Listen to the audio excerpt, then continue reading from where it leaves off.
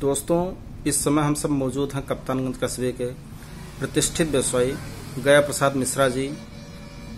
और आइए इनसे जानते हैं कि कोरोना वायरस पूरे विश्व में महामारी का रूप ले चुका है। अपने कप्तानगंज की तरफ़ से बस्ती के जिलों को क्या संदेश देना चाहते हैं? मैं आप के मारदंड प्रभात न्यूज़ चैनल का स्वागत करते हैं। आपने आज हमको ये मौका दिया जिससे मैं आपके चैनल से ये कहना चाहता हूँ कि बस्ती ज़िले के सारी संस्था, डीएम या पुलिस विभाग, इस काम में पूरा तत्पर है।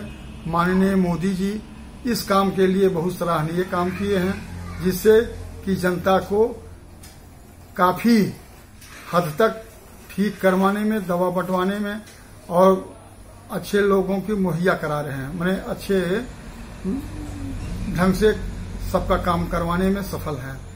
अपने माध्यम से मैं ये कहना चाहता हूँ कि हमारे अगल बगल जो गरीब तबके के लोग हैं, उनके लिए हम लोग हर संभव प्रयास करेंगे कि वो भूखा ना रहें।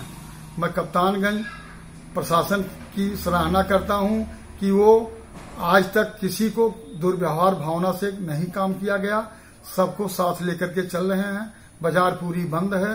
खाली फल, सब्ज़ी और दवा की दुकानें खुल रही हैं, जिसमें किसी को किसी प्रकार की कोई कठिनाई नहीं हो रही है। मैं आपके चैनल से भी कहना चाहता हूँ कि प्रशासन द्वारा लोगों को जो नीति निर्गत दिया गया है, उसके लिए मैं प्रशासन को आभार व्यक्त करता हूँ।